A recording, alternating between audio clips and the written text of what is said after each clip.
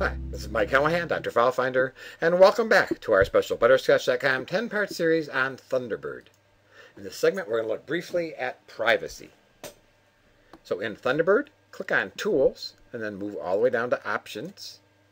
You see there are a number of tabs here, but we're going to click on Privacy. Now first is Junk. You can set your default junk mail settings. Account-specific junk mail settings can be configured in Account Settings.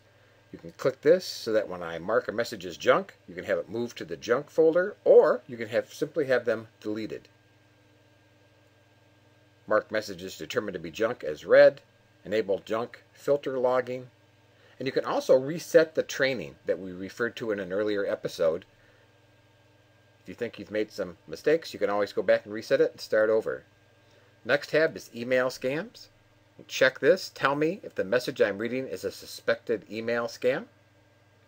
Antivirus. You can allow antivirus clients to quarantine individual incoming messages. Personally believe that's a good idea. And passwords. If you want, Thunderbird can remember password information for all of your accounts so you don't have to enter all your login details. And you can also use a master password.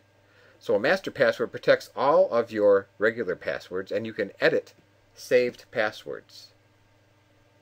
So these are just a few of the things that Thunderbird does to keep your privacy secure, to keep you safe from email scams and viruses.